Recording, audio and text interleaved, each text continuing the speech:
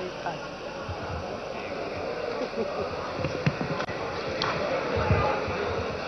bismillaahi araxmaan araxiim guddoomiyaha golaha shacabka ee soomaaliya maxamed sheekh cismaan jawaari. Labada guddoomiye ku-xigeen ee golaha shacabka xildhibaanada sharafta leh ee golaha shacabka soomaaliya. Diblomaasiyiinta ka socda dalalka aan saaxiibka nahay. Gudaha iyo dibadda ciidamada nabad ilaalinta goobjoogayaasha iyo marti sharafta kale giddigiin waxaan idinku salaamayaa salaan sharaf iyo qadarin leh. Salaan kadib anigoo ku hadlaya magaca guddiga doorashada madaxweynaha soomaaliya waxaan maanta ummadda soomaaliyeed ugu hambalyaynayaa waaga cusub ee noo baryay.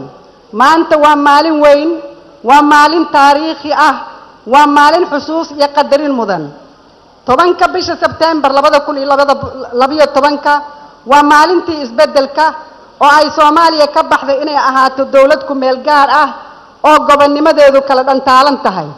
Maanta ilaahay mahadi ha ka gaarto soomaaliya waxay leedahay dowladnimo iyo gobonnimo taam ah oo ay kula tartami karto dowladaha asaageed ah iyadoo aan turjubaan iyo dilaal toona u marin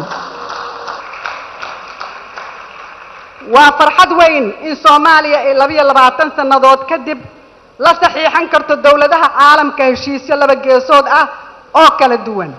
Maanta waa maalin qiimo leh oo taariikhda cusub ee soomaaliya geli doonta. Tobanka bisha sebtembar way ka duwan tahay kana nasiib badan tahay saddex munaasabood oo sidaan oo kale ah oo horay noo soo maray. Mid waxay ka dhacda carta midna nairobi tii ugu dambaysana jabuuti. Saddexda munaasabadood waxaan soo dooranay madaxweyneyaal ku-meel gaar ah oo ka madax noqday dowlado ku-meel gaar ah. Maanta waxay maalmihii hore uga qiimo badan tahay sababaha soo socda. Waxaan joognaa muqdisho magaalo madaxdii qaranka soomaaliyeed.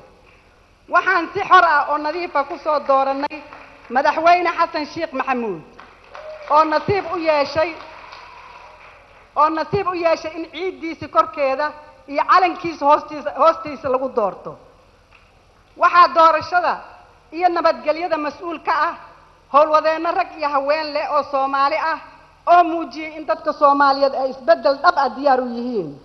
Shacabka soomaaliyeed meel kasta ay joogaan waxaan leenahay hambalyo madaxweynahan cusubna waxaan leenahay waxaan ugu ducaynaynaa in alla u fududeeyo xilka culus oo la saaray. Waxaan alle ka baryaynaa inuu ka dhigo kii dalka soomaaliyeed dejiya dibna u soo nooleeya karaamadii iyo sharaftii dadka soomaaliyeed oo hore u luntay. Ilaahay ha kaa dhigo ayaan leenahay madaxweyne xasan sheekh howlkar heegan ah caadil xaqsoore ah xifdiye aamin ah mideeye caaqil ah jeclaado naxariis badan iyo guddoomiye go'aan adag leh. Madaxweyne xasan sheekh ku soo dhowow kursiga ugu sarreeyay qaranka soomaaliyeed adigoo aan rajaynayno inaad ku hogaamiso dalka cadaalad iyo hufnaan. Waa mahadsantihin